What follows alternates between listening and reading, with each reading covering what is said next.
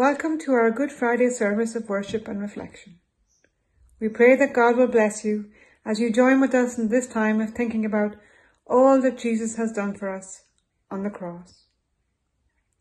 This will be a little bit different from our usual form of worship, and so I want to let you know what is going to happen over the next while. There will be no sermon or time of teaching, and the main body of the service will be those chapters from John's Gospel, chapter 18 and 19, that deal with the events of Good Friday. Different people from church will read through the story of what happened that day.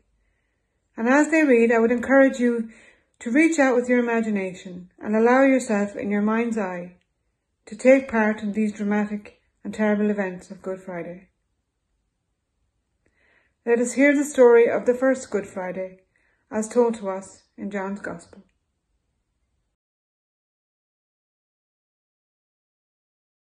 John 18 When he had finished praying, Jesus left with his disciples and crossed the Kidron Valley. On the other side there was a garden, and he and his disciples went into it. Now Judas, who betrayed him, knew the place because Jesus had often met there with his disciples. So Judas came to the garden, guiding a detachment of soldiers and some officials from the chief priests and the Pharisees. They were carrying torches, lanterns, and weapons. Jesus, knowing all that was going to happen to him, went out and asked them, Who is it you want? Jesus of Nazareth, they replied. I am he, Jesus said. And Judas the traitor was standing there with them. When Jesus said, I am he, they drew back and fell to the ground. Again he asked them, Who is it you want? Jesus of Nazareth, they said. Jesus answered, I told you that I am he. If you are looking for me, then let these men go. This happened so that the words he had spoken would be fulfilled. I have not lost one of those you gave me. Then Simon Peter, who had a sword, drew it and struck the high priest's servant, cutting off his right ear. The servant's name was Malchus. Jesus commanded Peter, Put your sword away. Shall I not drink the cup that the Father has given me? Then the detachment of soldiers with its commander and the Jewish officials arrested Jesus. They bound him and brought him first to Annas, who was the father in law of Caiaphas, the high priest that year. Caiaphas was the one who had advised the Jewish leaders that it would be good if one man died for the people.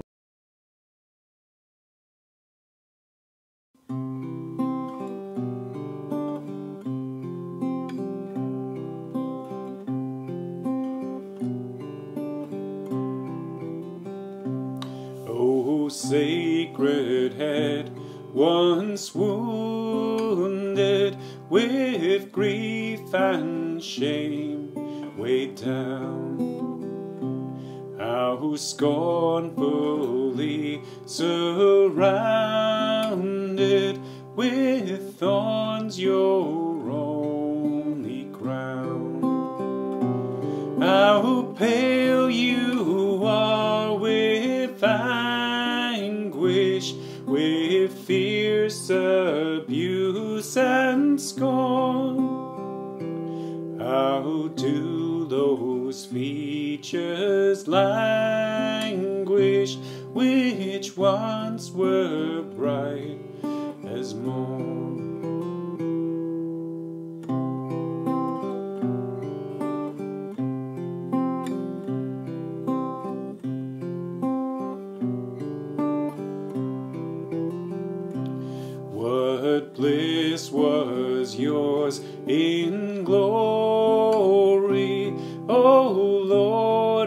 of life divine?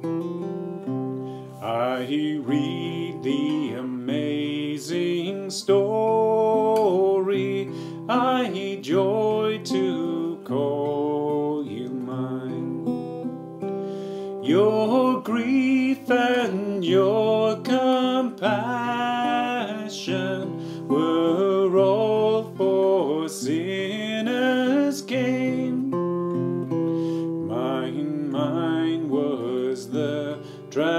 transgression, but yours the deadly pain.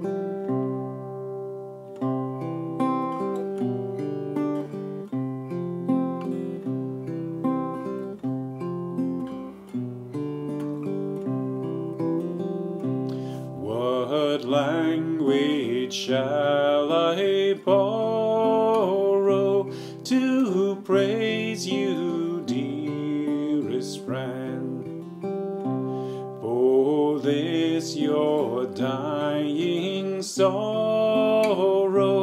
Your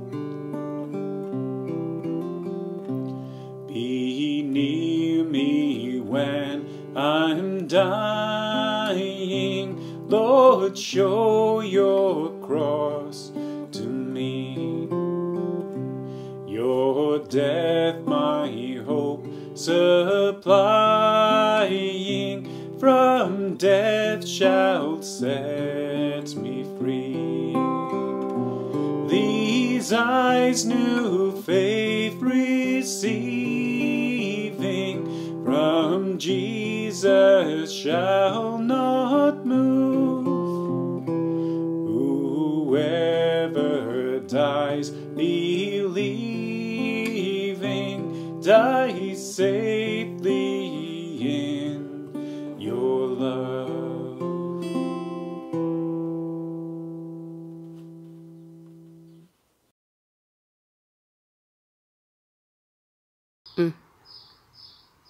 John 18 19 to 27.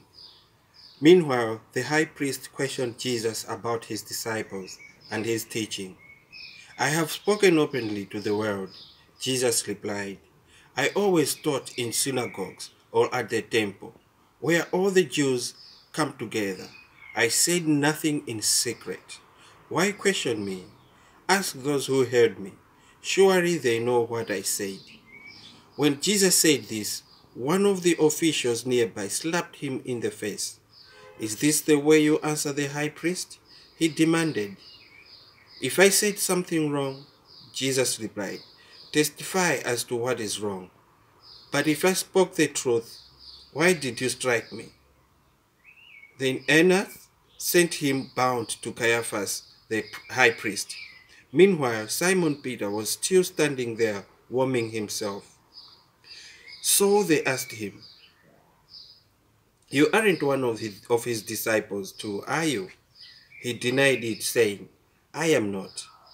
One of the high priest's servants, a relative to the man whose ears Peter had cut off, challenged him. Did I see you with him in the garden? And Peter denied it. And at that moment, a rooster began to crow. Amen.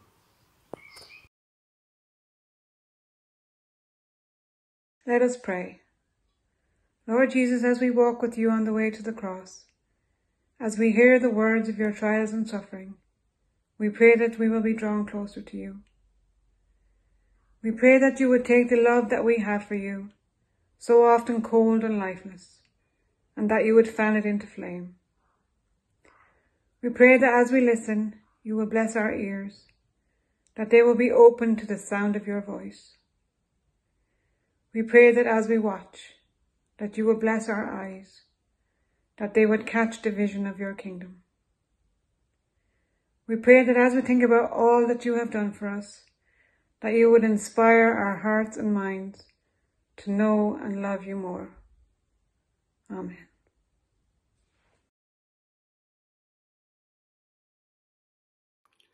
John 18, verse 28 to 40. Then the Jewish leaders took Jesus from Caiaphas to the palace of the Roman governor. By now it was early morning, and to avoid ceremonial uncleanness, they did not enter the palace because they wanted to be able to eat the Passover. So Pilate came out to them and asked, What charges are you bringing against this man? If he were not a criminal, they replied, we would not have handed him over to you. Pilate said, Take him yourselves and judge him by your own law. But we have no right to execute anyone, they objected. This took place to fulfill what Jesus had said about the kind of death he was going to die. Pilate then went back inside the palace, summoned Jesus, and asked him, Are you the king of the Jews? Is that your own idea? Jesus asked, or did others talk to you about me? Am I a Jew? Pilate replied. Your own people and chief priests handed you over to me. What is it you have done? Jesus said, My kingdom is not of this world. If it were, my servants would fight to prevent my arrest by the Jewish leaders. But now my kingdom is from another place. You are a king then, said Pilate.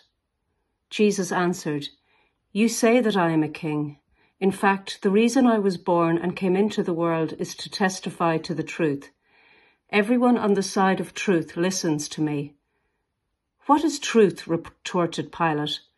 With this, he went out again to the Jews gathered there and said, I find no basis for a charge against him. But it is your custom for me to release to you one prisoner at the time of the Passover. Do you want me to release the King of the Jews? They shouted back, No, not him. Give us Barabbas. Now Barabbas had taken part in an uprising.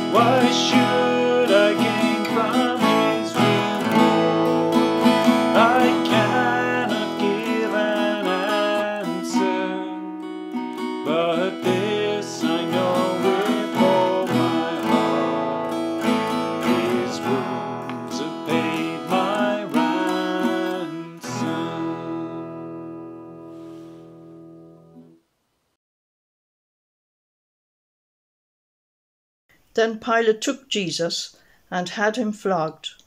The soldiers twisted together a crown of thorns and put it on his head. They clothed him in a purple robe and went up to him again and again, saying, Hail, King of the Jews! And they struck him in the face. Once more Pilate came out and said to the Jews, Look, I am bring, bringing him out to you to let you know that I find no basis for a charge against him. When Jesus came out wearing the crown of thorns and the purple robe, Pilate said to them, Here is the man. As soon as the chief priests and their officials saw him, they shouted, Crucify, crucify. But Pilate answered, You take him and crucify him. As for me, I find no basis for a charge against him. The Jews insisted, We have a law, and according to that law he must die, because he claimed to be the Son of God. When Pilate heard this, he was even more afraid, and he went back inside the palace. Where do you come from? he asked Jesus. But Jesus gave him no answer. Do you refuse to speak to me? Pilate said. Don't you realize I have power either to free you or to crucify you? Jesus answered, You would, would have no power over me if it were not given to you from above. Therefore, the one who handed me over to you is guilty of a greater sin. From then on, Pilate tried to set Jesus free, but the Jews kept shouting, If you let this man go, you are no friend of Caesar. Anyone who claims to be a king opposes Caesar. When Pilate heard this, he brought Jesus out and sat down on the judge's seat, at a place known as the stone pavement, which in Aramaic is Gabbatha. It was the day of preparation of Passover week, about the sixth hour. Here is your king, Pilate said to the Jews. But they shouted, Take him away! Take him away! Crucify him! Shall I crucify your king? Pilate asked. We have no king but Caesar, the chief priests answered. Finally, Pilate handed him over to them to be crucified. So the soldiers took charge of Jesus.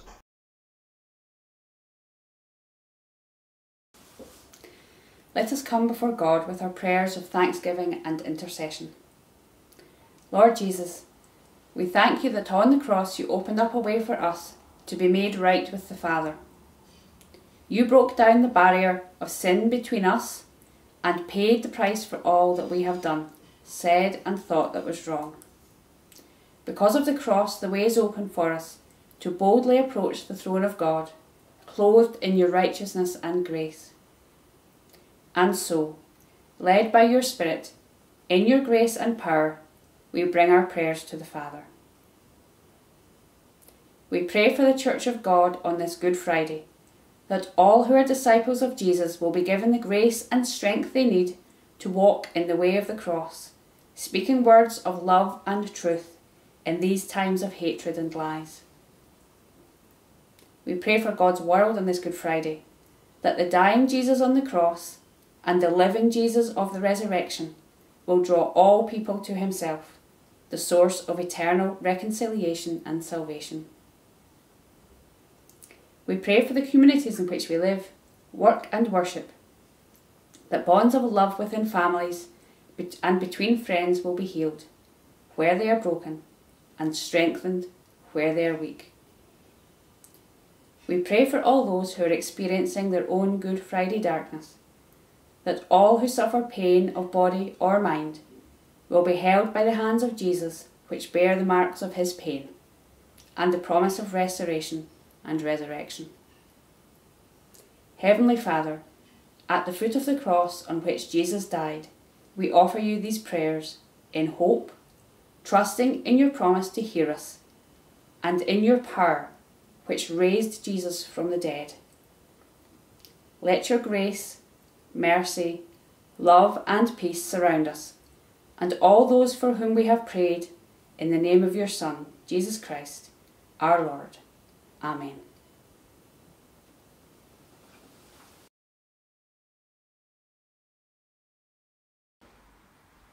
Carrying his own cross, he went out to the place of the skull, which in Aramaic is called Golgotha. There they crucified him, and with two others, one on each side, and Jesus in the middle. Pilate had a notice prepared and fastened to the cross. It read, Jesus of Nazareth, the King of the Jews. Many of the Jews read this sign, for the place where Jesus was crucified was near the city, and the sign was written in Aramaic, Latin, and Greek. The chief priests of the Jews protested to Pilate, Do not write the King of the Jews, but that this man claimed to be King of the Jews. Pilate answered, What I have written, I have written. When the soldiers crucified Jesus, they took his clothes, divided them into four shares, one for each of them, with the undergarment remaining. This garment was seamless, woven in one piece from top to bottom. Let's not tear it, they said to one another. Let's decide by lot who will get it. This happened that the scriptures might be fulfilled that said, They divided my clothes amongst them and cast lots for my garment. So this is what the soldiers did. Near the cross of Jesus stood his mother, his mother's sister, Mary the wife of Cleopas, and Mary Magdalene. When Jesus saw his mother there, and the disciple whom he loved standing nearby, he said to her, Woman, here is your son, and to the disciple, here is your mother. From that time on, the disciple took her into his home.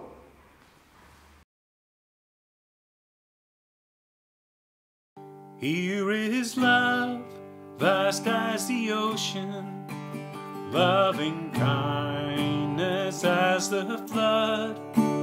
When the Prince of Life our ransom shed for us his precious blood, who his love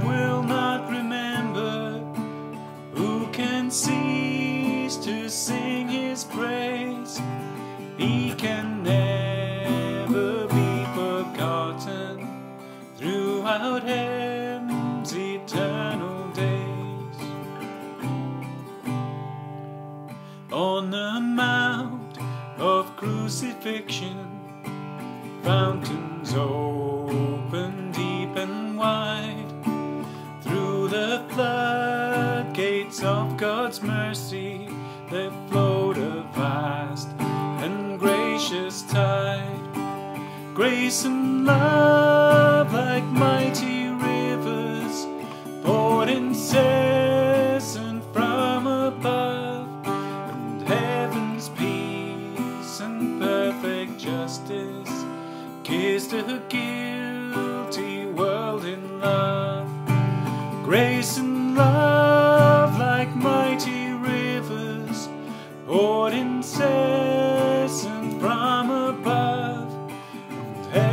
heaven's peace and perfect justice kissed a guilty world in love.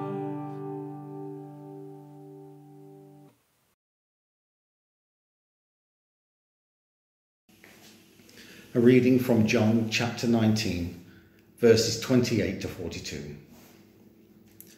Later, knowing that everything had now been finished, and so that scripture would be fulfilled, Jesus said, I am thirsty. A jar of wine vinegar was there, so they soaked a sponge in it, put the sponge on a stalk of the hyssop plant, and lifted it to Jesus' lips. When he had received the drink, Jesus said, It is finished. With that, he bowed his head and gave up his spirit. Now it was the day of preparation, and the next day was to be a special Sabbath. Because the Jewish leaders did not want the bodies left on the crosses during the Sabbath, they asked Pilate to have the legs broken and the bodies taken down. The soldiers therefore came and broke the legs of the first man who had been crucified with Jesus, and then those of the other. But when they came to Jesus and found that he was already dead, they did not break his legs. Instead, one of the soldiers pierced Jesus' side with a spear, bringing a sudden flow of blood and water. The man who saw it has given testimony, and his testimony is true. He knows that he tells the truth and he testifies so that you also may believe. These things happened so that the scripture could be fulfilled. Not one of my bones will be broken, and, as another scripture says, they will look on as one they have pierced. Later, Joseph of Arimathea asked Pilate for the body of Jesus. Now, Joseph was a disciple of Jesus, but secretly because he feared the Jewish leaders. With Pilate's permission, he came and took the body away. He was accompanied by Nicodemus, the man who earlier had visited Jesus that night. Nicodemus brought a mixture of myrrh and aloes, about 70 pounds. Taking Jesus' body, the two of them wrapped it with spices in strips of linen. This was in accordance with Jewish burial customs. At the place where Jesus was crucified, there was a garden, and in the garden a new tomb, in which no one had ever been laid, because it was the Jewish day of preparation, and since the tomb was nearby, they laid Jesus there. Amen.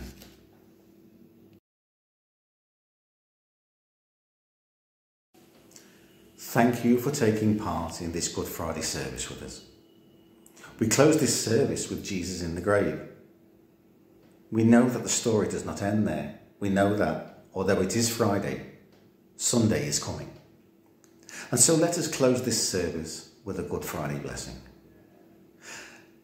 Therefore, since we are surrounded by such a great cloud of witnesses, let us throw off everything that hinders and the sin that so easily entangles. And let us run with perseverance the race marked out for us, fixing our eyes on Jesus, the pioneer, the perfecter of faith. For the joy that was set before him, he endured the cross, scorning its shame, and sat down at the right hand the throne of God. Through the life of Jesus, may you know love and truth. Through the death of Jesus, may you know forgiveness and life.